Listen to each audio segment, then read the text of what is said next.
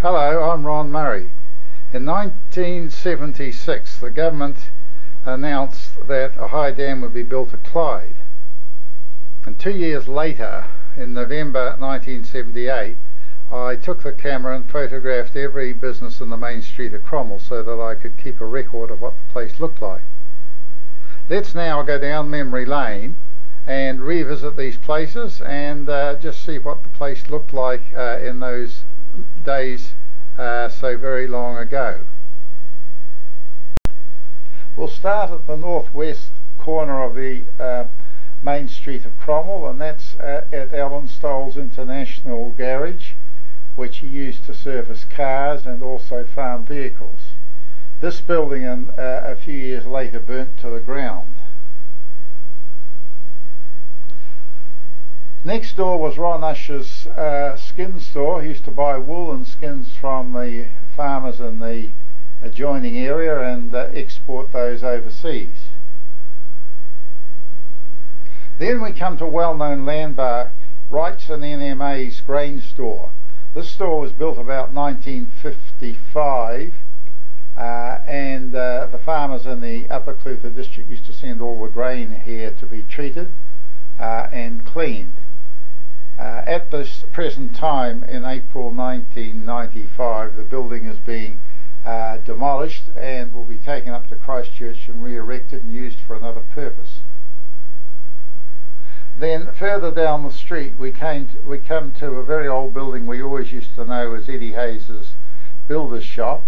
In the very early days uh, it was a building that was used for wagoners accommodation where the wagoners would sleep there and eat across the road at the Victoria Hotel. Uh, this building has recently been sold and at the same and is in the state, state of being demolished right at the present time. Right across the street is the Victoria Hotel.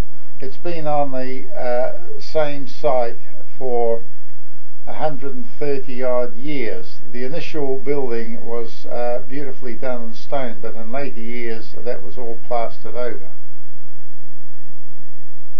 Next door to that uh, is the old Masonic Hall, which was built round about 1905 by the late William Gere.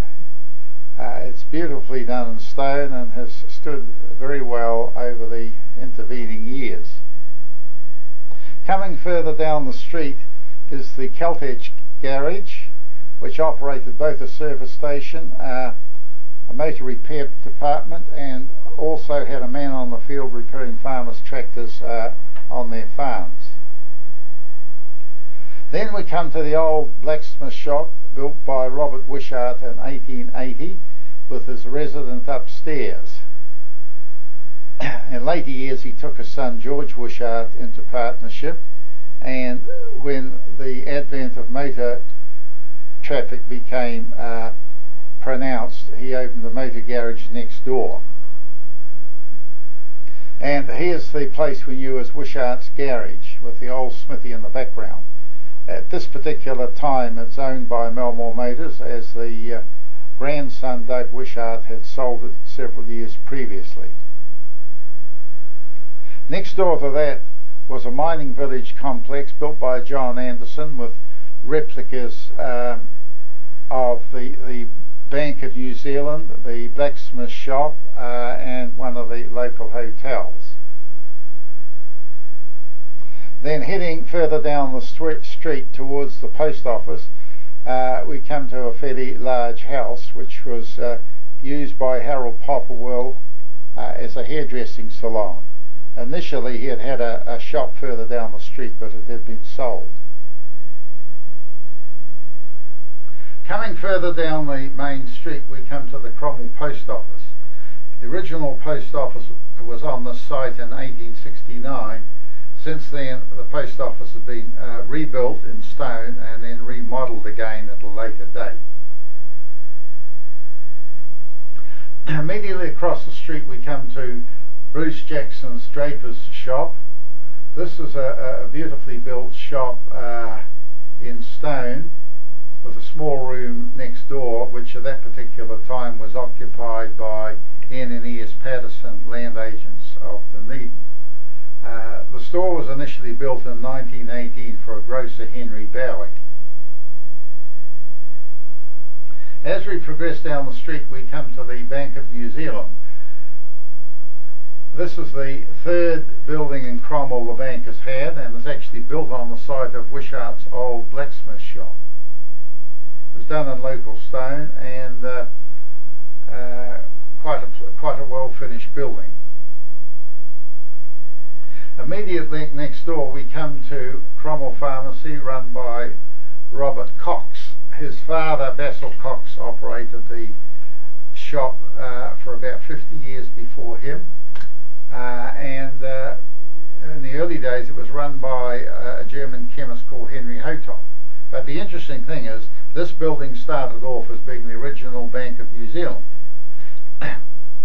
and further down the street, uh, at the Colonial Bank had a bank, but it went bankrupt around about 1895, and the Bank of New Zealand shifted down there. In this photograph we have uh, a side view of the Cromwell Pharmacy, um, which was double story, and upstairs Dick O'Kane, the dental surgeon, had his rooms. Now to the right we have Wrightson NMA Stock Agents building. this uh, was the Cromwell Hotel in the very early days, uh, and since that time has become a billiard room, uh, tea room, and uh, before Wrightson NMA bought it was the printing office of the Cromwell Argus. Then we come further down the street, uh, we come to the National Bank of New Zealand. This initially was the Bank of New South Wales about 1880 and uh, in later years it was taken over by the National Bank. And to the right of that is a fairly well known building called London House. It was built in the 1885s uh, for R. R. Henry and Company, uh, who were produ produce merchants and storekeepers, uh, and they used it to supply the local gold miners. Later on, it was used by Tall Boys as a draper's shop. Uh, then Jelly Brothers, um, who kept it uh, until round about 1960. then um, it was used for Jack Ferris as a furniture shop. Um, then Leo Mangus, and when he shifted up the street, it was uh, being used for by Bob Howard uh, as a radio shop. Next, we come to the Golden Age Hotel. The original building was a small uh, wooden building on the site, and at the time of the dredging boom in 1903, it was rebuilt and faced with stone since then it's had a, a, a, large number of owners and about 15 or 20 years ago uh, a more modern bar was built onto the right hand corner. You'll see it there fairly plainly. It doesn't really blend in with the old building at all. Then we go across the street again and come to uh, the building operated by Dalgety New Zealand Limited who are also stock agents. In 1869 uh, a wooden shop was built here by D.A. Jolly and he operated it as a family store with members of his family uh, until round about 1950 when he sold out and several other grocers had the place and finally uh, Dalgety New Zealand bought it and in 1978 they were the owners. now to the right of this is a discount store operated by Colin Edgar. Uh, this is this building is a particularly old one and uh, was known as Victoria's Store in the 1870s. And when it was demolished, it was found to be of a very poor construction and certainly wouldn't meet the uh, present day local bylaws. As we come further down the street, there are two buildings in this photograph. Uh, the one on the left is the Cromwell Free Trade Butchery, which has quite a history. It was built by Captain Jackson Barry in 1869 uh, and he also became the local mayor. it passed through several hands and at one stage uh, was positioned on the other side of the street uh, and then brought back in the 1930s and uh, has been used by three generations of the Sanders family. First Charlie Sanders in the 1940s, then Raoul Sanders, uh, who sold to his two sons Bill and Charlie. Now to the right of that is a small building which uh, Bill Sanders used several years ago, uh, and this would be during the Second World War, as a taxi depot and as a fruit and produce shop. Subsequently, Stronach Morris, stock firm, used the property, and at the time the photo was taken, it was used as a steak bar by a man called Roy. Now we come to two further buildings. The building on the left-hand side is a double-story one, and that used to be the Colonial Bank of New Zealand, which, uh, as I mentioned, became bankrupt, and the Bank of New Zealand uh, took that over. Uh, it was when it was uh, when they built a new bank further up the street, they vacated that. It was used by in one case a tourist operation uh, and then Bob Howard, the radio man, used it for a short time too. Now to the right of that is the Hotel Cromwell.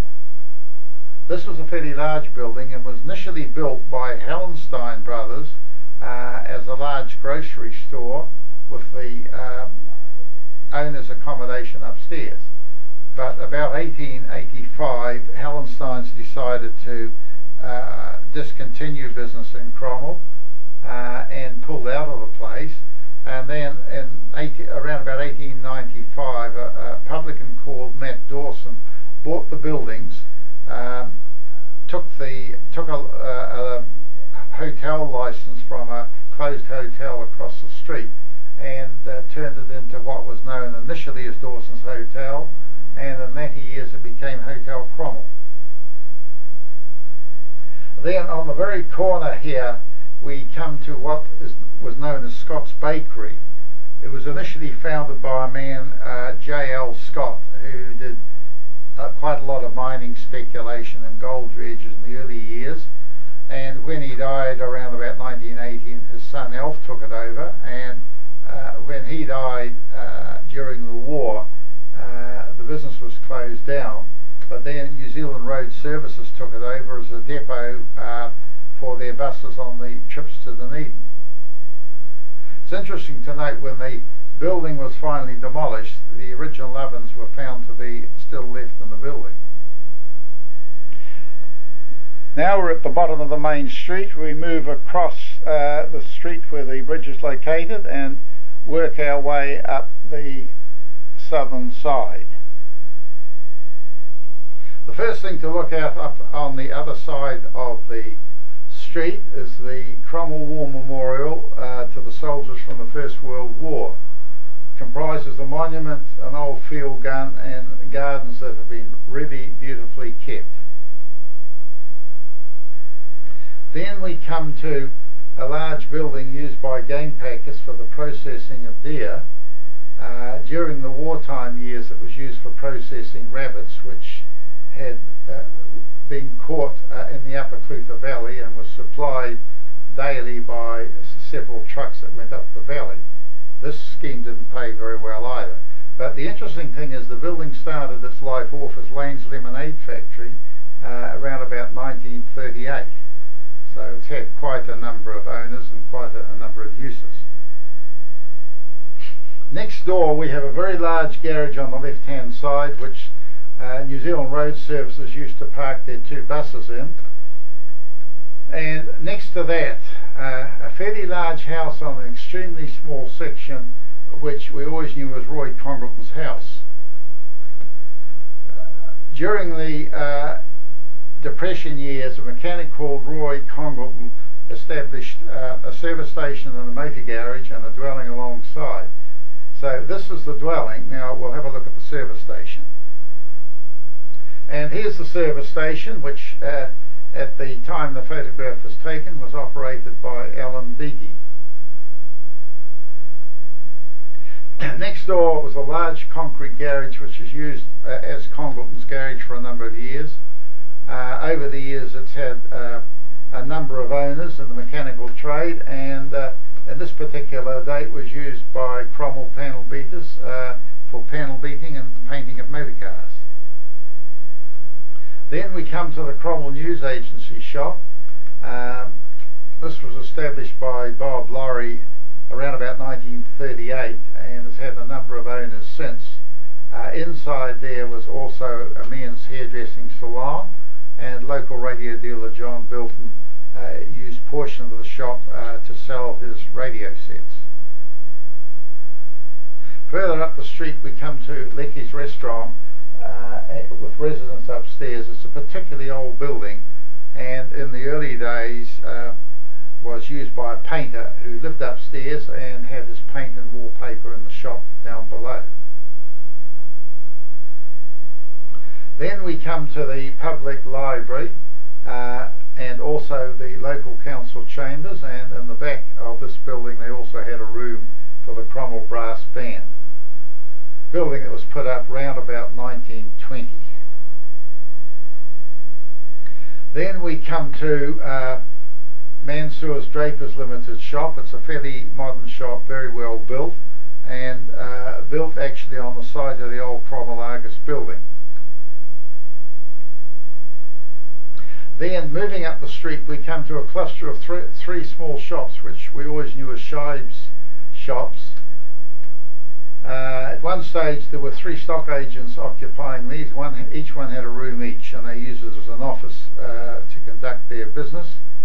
Uh, in later years it's had quite a few uses. At the, this particular time Jim Deal, the local solicitor from Alexandra had a room there. In the middle Anderson's Jewelers operated and on the left hand side there was initially a babies wear shop and in later years a small plant shop.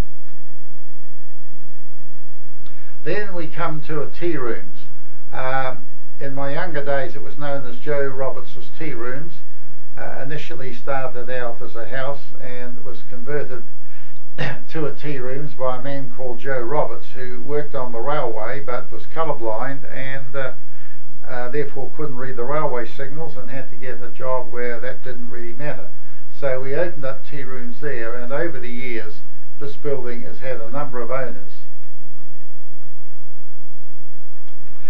Next door we have the shop on the left belonging to Bell's Family Butchery, uh, which was established by a local butcher, Graham, or commonly known as Ding Dong Bell.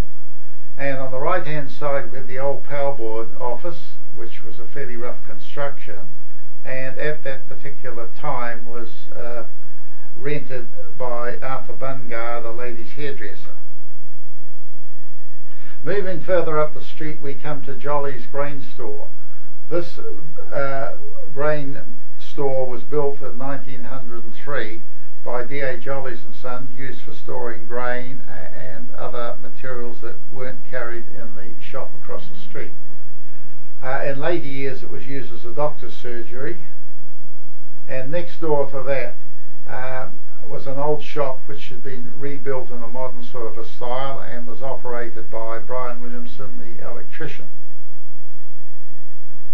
Then we have the Otago Savings Bank building on the left, or Trust Bank Otago as it is commonly known now. The building initially uh, was a depot for taxis run by two men, Law and Payne. But when they went out of business, uh, the bank bought it, it into a banking chamber. And on the right hand side was an, again another very old building which uh, in 1960 was used by a man Peter Hosking as a bicycle repair shop. Uh, prior to that was used by a man Denny Carhool as a shoe repairer and uh, at the time uh, this photograph was taken was used by Bodkin Solicitors Alexandra for uh, an office and also Broad Christie accountants from Invercargill.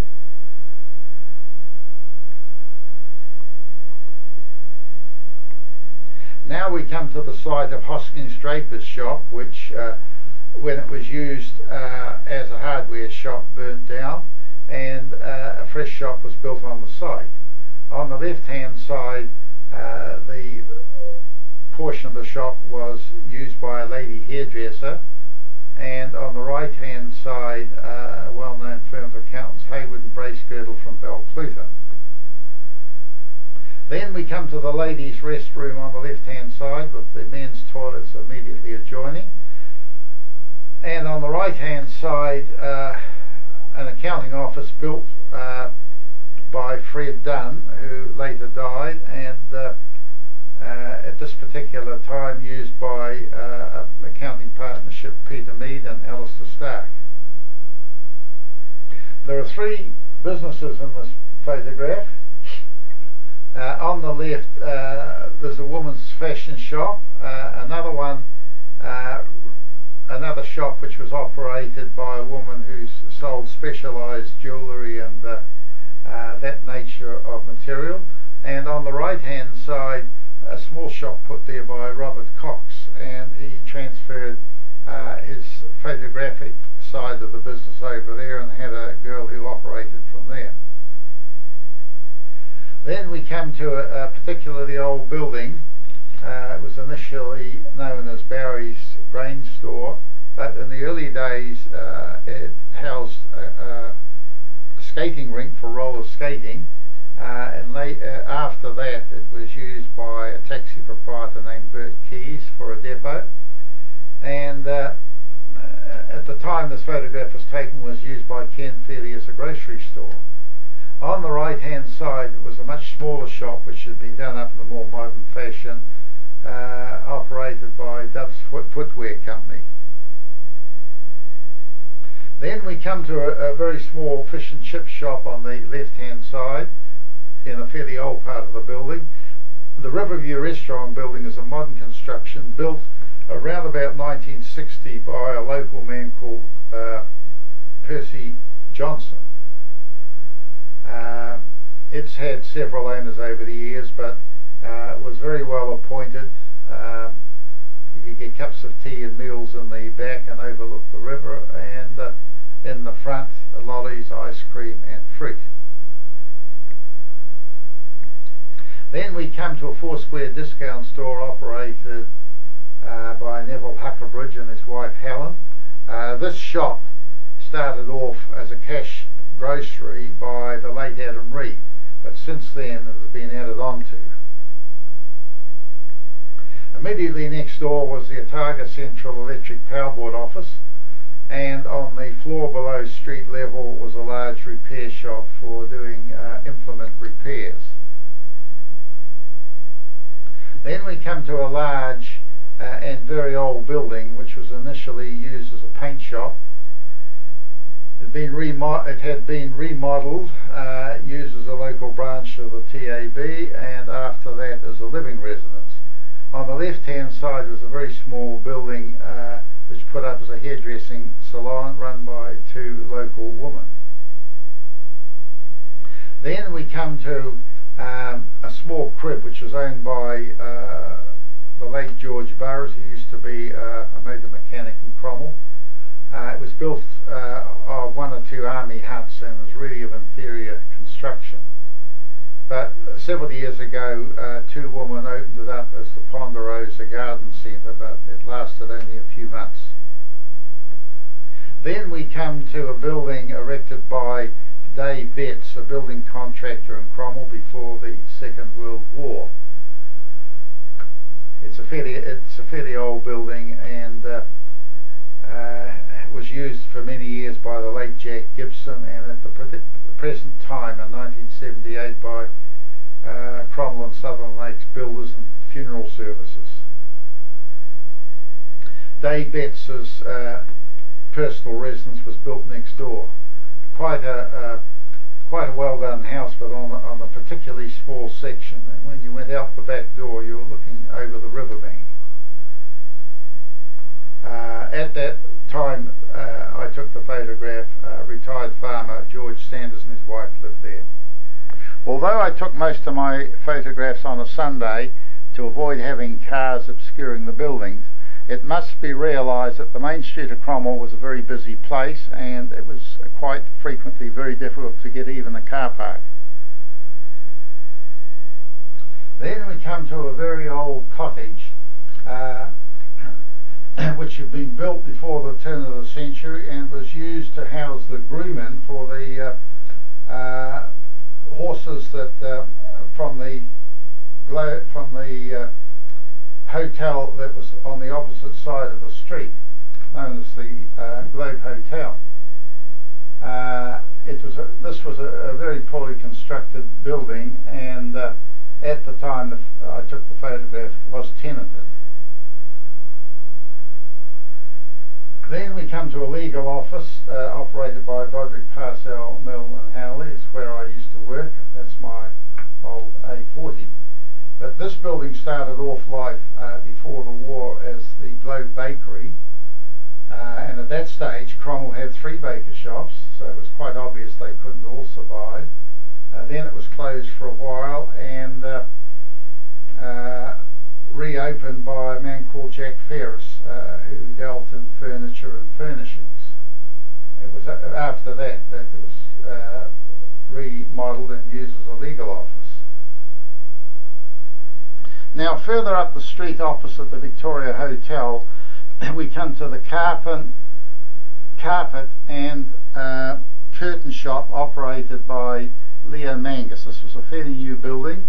He had his living quarters upstairs and the shop was downstairs. And finally we come to the Cromwell Borough Memorial Hall, built as a memorial to the servicemen of the Second World War. Now there it is, all the businesses and buildings in the main street in Cromwell in 1978. I hope for some of you it brings back quite a few memories.